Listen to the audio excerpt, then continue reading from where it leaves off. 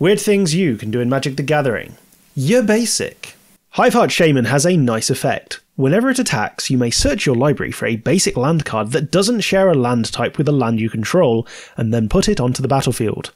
However, what happens when you already have a plains, island, swamp, mountain, and forest in play? The secret here is to play more wastes. Because they have no basic land type, you can search for wastes even when the main five types are in play.